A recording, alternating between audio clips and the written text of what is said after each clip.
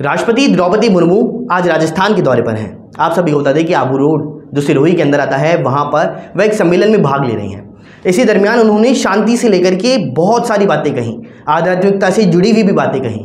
क्या कुछ उन्होंने कहा? सीधा दिखाते हैं इस रिपोर्ट में। शुद्ध आहार के लिए शुद्ध अन्न, उपज, उपजाने, उपजना ज़रूरी है। शुद्ध अन्न, उपजाना मिट्टी पर्यावरण और स्वास्थ्य के लिए भी लाभदायक है। मुझे ये जानकर प्रसन्न हुई है कि सरकार द्वारा रासायनिक खाद की जगह जीवामृत और प्राकृतिक खाद और बीजामृत जैसे बीज पोषक तत्वों की सहायता से प्राकृतिक खेती को प्रोत्साहित किया जा रहा है। प्राकृतिक खेती से स्वच्छ अन्न तथा स्वच्छ अन्न से स्वस्थ मन की कड़ी बनती है।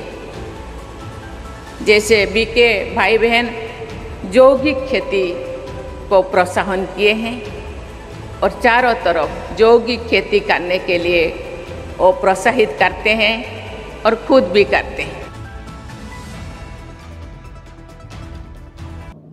फ़िलहाल देश और दुनिया की तमाम बड़ी खबरों के लिए इतना ही। बने रहिए हमारे साथ। नमस्कार।